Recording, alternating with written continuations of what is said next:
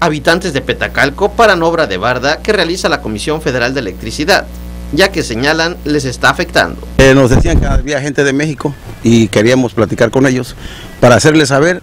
que nos vuelven a perjudicar a la, población de Petacalco y a los apicultores, porque eh, una, tenemos el estero aquí de Boca Vieja, la otra es que el 90% de la gente de Petacalco, de las familias que viven aquí, nos mantenemos de la piedra. Y al cerrar esa barda hasta la playa, van a hacer que toda la gente que camina por esa orilla del pueblo, que camine dos kilómetros, la van a hacer que camine seis, ocho kilómetros dándole la vuelta y trayendo la, la piedra en el hombro o las mujeres en la cabeza. Afirman que serán 21 kilómetros lo que tendrá esa barda, que también medirá 3 metros de altura. Sigue afectando Primero nosotros para evitar esto tratamos de platicar con el presidente municipal, eh, nos comunicamos con Celestino, su secretario particular, y nos dijo que eran nueve kilómetros de la barda que iban a hacer, pero que ellos no sabían nada. Dijo el encargado de la obra que viene de México que no,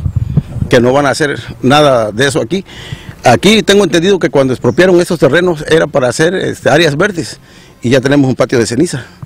y ahora vamos a tener la barda como una fortaleza pues de, 21 kilómetros va a ser la barda y si enfocas los blocks, el bloque ese pesa como, como 30 kilos cada, cada bloque que no es beneficio para nosotros porque ya ves, pues aquí a veces la gente hasta para un mango se lleva un mango para comer y pasa, como te digo, para pescar al estero de Boca Vieja, a la playa, a la piedra, las, las familias y hoy es una, pues, se perjudica mucho, demasiado. Ya se concretó una reunión con las autoridades del estado de Guerrero. Vamos a, a mover, tenemos una reunión concertada para mañana con el gobierno del estado.